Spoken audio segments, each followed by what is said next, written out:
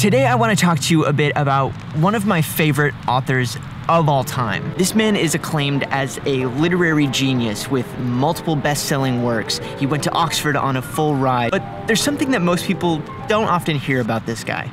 I'm talking about a man named C.S. Lewis. Today we know C.S. Lewis as the author of the best-selling children's series, The Chronicles of Narnia. But before Lewis became both a beloved children's author and one of the most influential Christian thinkers of his time, he was a young British student nicknamed by his friends and family as Jack. At the age of 19, Jack had received the high honor of being accepted to Oxford University under scholarship. There was just one problem. You see, Oxford had entry-level exams to prove that new students had basic competencies in subjects like reading, writing, and mathematics. Now, Jack had absolutely no problem completing the first two. However, in the subject of math, he was an abysmal failure. In the exam, Jack showed a competency in math that would have been concerning if he were going into the fifth grade, let alone Oxford University. His poor performance on the math exam left him on academic probation, and he would have to pass a rewrite of the exam or else he would face expulsion. For the next three months, Lewis buried his nose in the textbooks, trying to learn as much as he could to prep for the exam.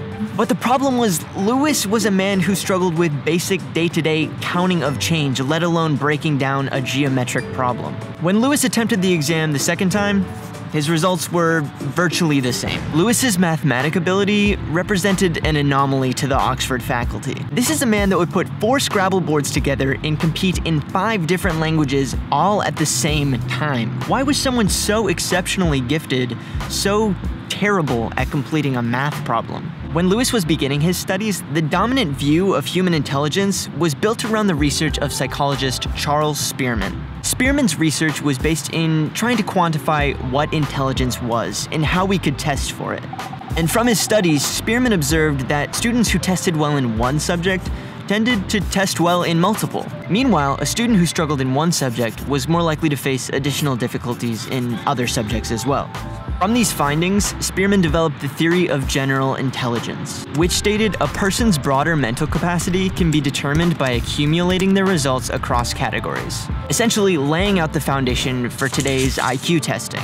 It took almost three decades before Spearman's theory was challenged by psychologist L. L. Thurstone, who believed a single ranking of overall intelligence was insufficient for measuring the diverse abilities of the human mind. Instead, Thurstone proposed his own theory of primary mental abilities, in which he divided core intelligence into seven independent categories verbal comprehension, word fluency, arithmetic abilities, perceptual speed, inductive reasoning, spatial visualization, and assistive memory. Thurstone's theory helps to explain cognitive gaps in prominent figures like Lewis, Albert Einstein, and William Faulkner, who is a notoriously terrible speller. Back to Lewis. After failing the math exam a second time, Lewis traded in his studies to serve in the First World War. The horrors Lewis witnessed in the war became a reoccurring topic of his future works. But the Great War also provided a way for Lewis to get back to Oxford, as after the war was finished, a decree was passed that allowed returning servicemen to waive the entry level exams.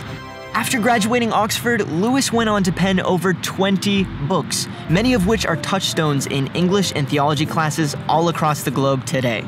And we may not have gotten any of those books because, according to the test scores, Lewis wasn't smart enough to go to university.